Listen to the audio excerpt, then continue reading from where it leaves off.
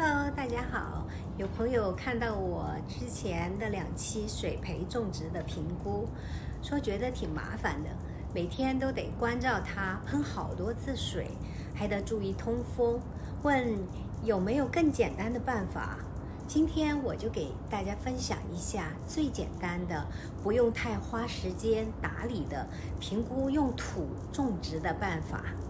我们一起看一看吧。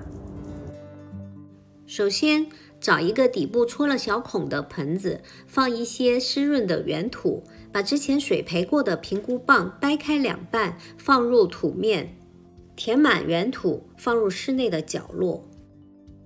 等待十天后，它就出菇了。有朋友问到，到底它能生长几次呀？从理论上来说，营养足够就能无数次生长。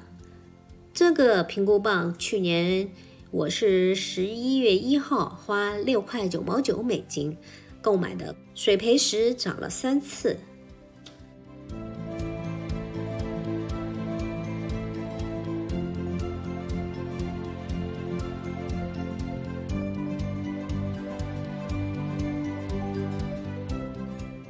十四天之后长大了一些，然后再等到十五天之后呢？因为有两处都长了菇，为了不影响它们彼此的生长，先把大的掰掉。我把切下来的根来再做一个实验，在土壤里找一个位置，把它们埋起来，看它会不会再长。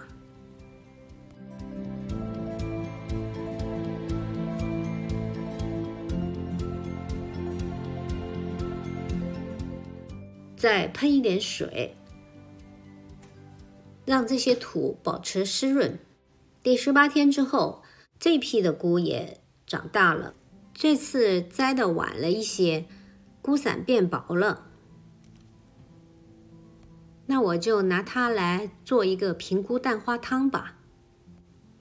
把姜跟平菇放入一个锅内。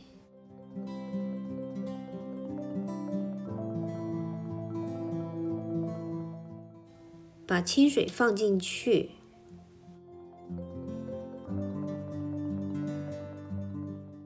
开火把它烧开。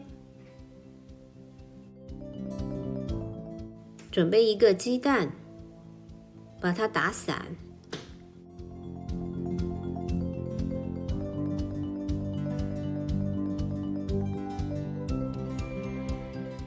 锅内的水开之后，把盖子打开。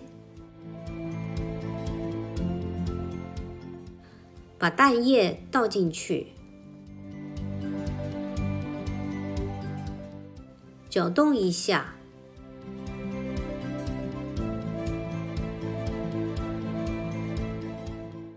加一些盐，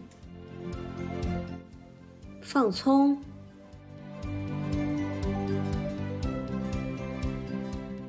然后关火。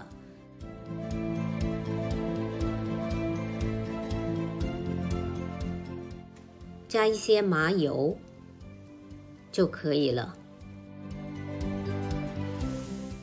美味清淡的平菇蛋花汤就做好了。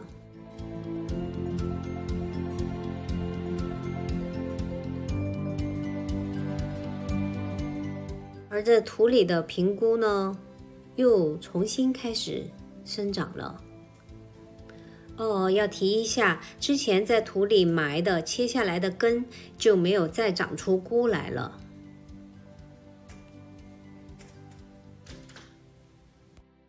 好了，今天的分享就到此结束，谢谢大家观看，我们下一期再见。